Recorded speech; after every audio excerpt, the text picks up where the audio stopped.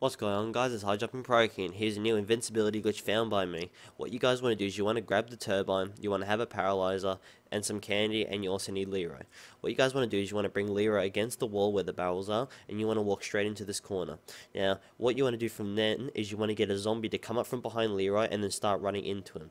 Now, once he's starting to get pushed into the corner, you want to start jumping and letting, and make sure you're shooting the paralyzer, then jumping, and then just keep repeating that. You'll keep flying, flying up and then falling down.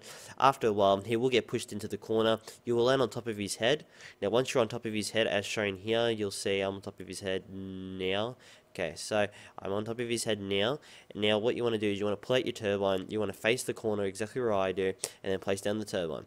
Then just jump off his head, and then the glitch is ready to go all you want to do from there guys is just walk into the corner and just stand up and it should look like this if you've done it correctly so yeah that's the glitch guys so basically you're fully invincible you can get hit a few times but as long as you've got good guns you should be fine and you also have jug so yeah guys I hope you guys subscribe and like this is found by me and I'll see you guys next time